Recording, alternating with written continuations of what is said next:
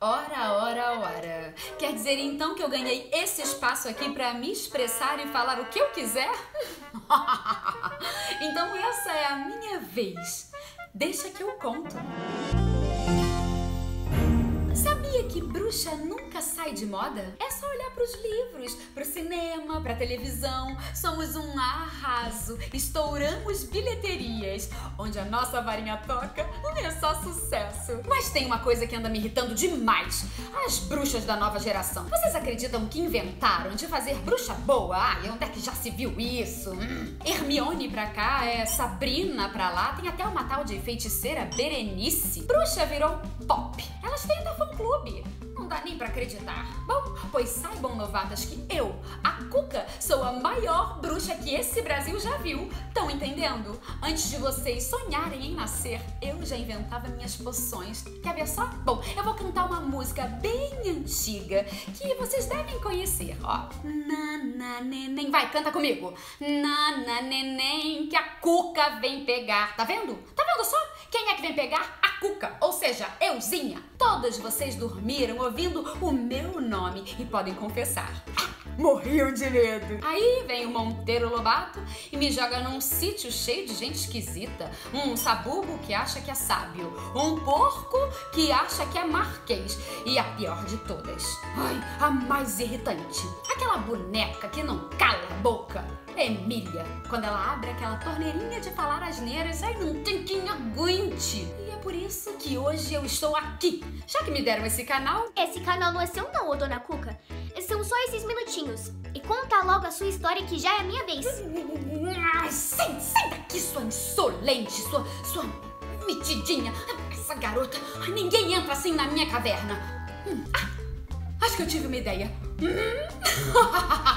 eu vou virar Mestre Cuca. Isso mesmo, pegou o trocadilho? Mestre Cuca. Eu vou fazer três receitas e enviar para Emília. E essas receitas serão homenagens a grandes bruxas da história. E a Emília vai ficar muda pra sempre. E nunca mais, eu disse, nunca mais ouviremos a vozinha irritante dela novamente. Eu vou usar uma maçã, uma perfeita maçã e um lindo espelho. Opa, eu não tenho maçã nessa quarentena. Ah, já sei! Eu vou usar um caqui. Bom, vocês devem saber de que, de que história eu estou falando, não é? De quem são esses objetos? Da madrasta, da Branca de Neve. E espelho, espelho meu.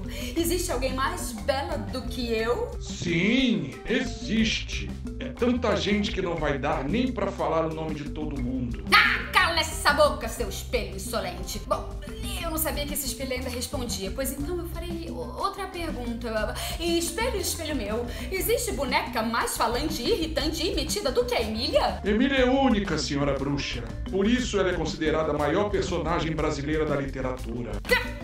Cale-se, eu só perguntei se ela era tagarela, eu não quero saber o resto. Maior personagem brasileira da literatura. Essa sou eu e não ela. Ah, vai fazer feitiço de, de maçã e de caqui. Eu vou é fazer um feitiço, vou enviar pra Emília. E quando ela estiver comendo a fruta, ela vai estar envenenada. E aí a Emília vai dormir pra sempre. Opa! Desculpa me meter na sua história, dona Cuca.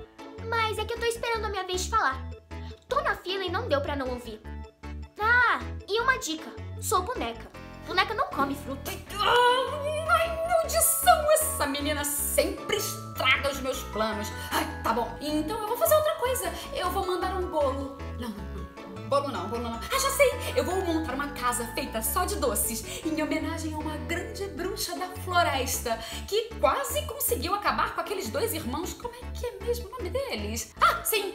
João e Maria. Eu sempre esqueço o nome dessas personagens secundárias, sabe? Quem se lembra de João e Maria? Todo mundo. Eles são tão importantes que o nome da história tem o nome deles.